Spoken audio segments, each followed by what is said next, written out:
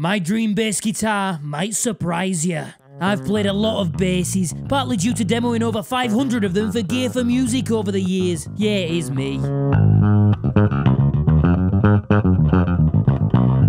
And it really helped me to find my style. I tried every style of haircut and jacket too. I didn't expect to like the Thunderbirds as much as I did. I loved the expensive Stingrays, but that's not surprising.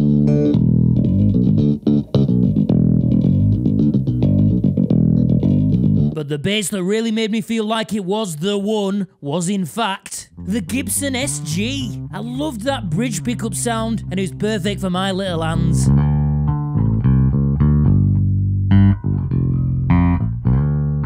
And so one day when I'm not poor as f, I'm gonna treat myself to an old EB3. Oh, yes. It will be mine.